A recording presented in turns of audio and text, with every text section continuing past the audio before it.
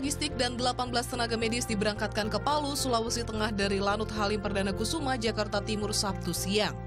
Pesawat Hercules A1326 milik TNI Angkatan Udara ini mengangkut seluruh bantuan yang diperlukan korban bencana Sulawesi Tengah. Logistik, obat-obatan, serta genset merupakan barang penting yang sangat diperlukan di pengungsian. Total bantuan logistik yang sudah dikirimkan untuk para korban gempa tsunami Palu mencapai 461 ton. Selain gunakan pesawat TNI Angkatan Udara, bantuan juga diangkut dengan pesawat asing bantuan dari negara-negara sahabat.